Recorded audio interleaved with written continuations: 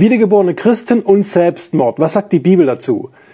Es gibt keine explizite Theologie über Selbstmord in der Bibel, dennoch kann man einiges ableiten.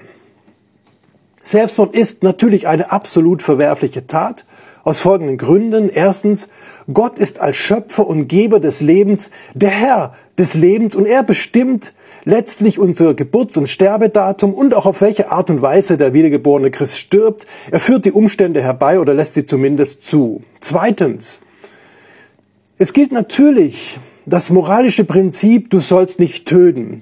Das schließt Selbstmord definitiv mit ein, denn das ist auch Töten, nämlich die Selbsttötung. Drittens, bei Selbstmord wird der Körper des Menschen gewaltsam zerstört, um so den körperlichen Tod herbeizuführen. Beim körperlichen Tod trennt sich der Körper von der Seele und dem menschlichen Geist. Es wird also gewaltsam äh, geteilt was Gott zusammengeführt hat, nämlich die menschliche Trichotomie bestehend aus Geist, Seele und Leib.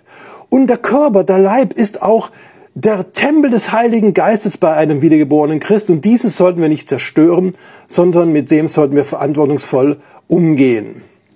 Was gibt es noch zu sagen?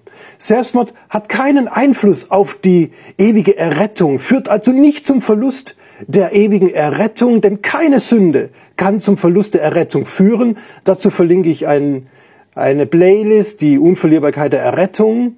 Äh, nichts kann den Gläubigen von der Liebe Gottes trennen, weder Leben noch Tod und auch kein Geschöpf, das schließt den Gläubigen mit ein.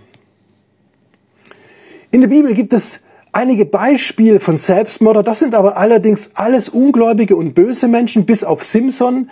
Dieser beging ein Selbstmordattentat, das hat einen völlig anderen Charakter, aber auch das war nicht in Übereinstimmung mit dem Plan Gottes.